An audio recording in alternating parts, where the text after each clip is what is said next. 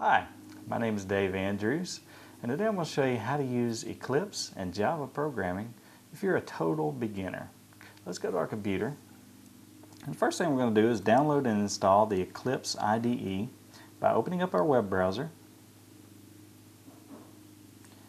and going to eclipse.org which is E-C-L-I-P-S-E.org.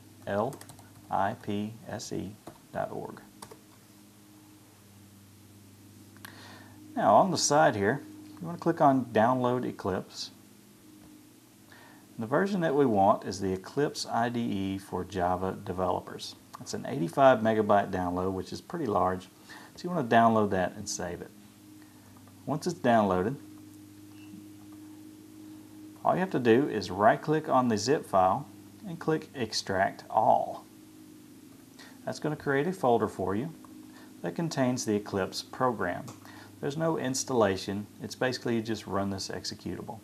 So I right click on that and I go to send to and desktop to make a shortcut on my desktop. So let's open up Eclipse. It's going to ask me where I want my workspace to be. I'm just going to go with the default. The workspace is where it's going to save all of your projects and files that you're working on. Now that Eclipse is open, let's create a new project. Go to File, New, and we're going to select Java project.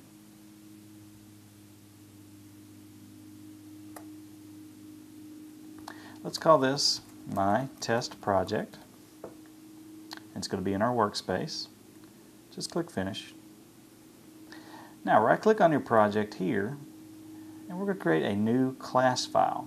Now in Java a class file encapsulates code and that is how the program runs. All code is in uh, classes which are then compiled and used by the operating system to execute commands. So let's call this our main class. We want to check this little checkbox here that says public static void main. That creates for us a main function which is where the program begins its operations. Now what I'm going to do here is I'm going to just put in a simple command which is going to be system.out.println for print line. And I'm going to open up a parenthesis and a quote. I'm just going to say hello world. This is the simplest Java program that could be created. I put a sem semicolon at the end of it.